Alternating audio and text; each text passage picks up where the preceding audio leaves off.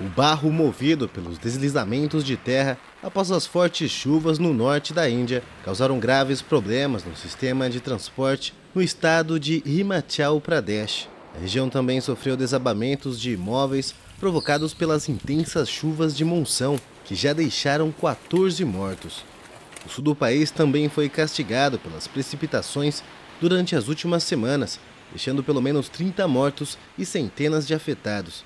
Esse tipo de incidente meteorológico é frequente no sul da Ásia durante a época de mais intensidade das chuvas de monção, principalmente em julho e agosto, quando costumam causar centenas de mortos e milhões de afetados na região.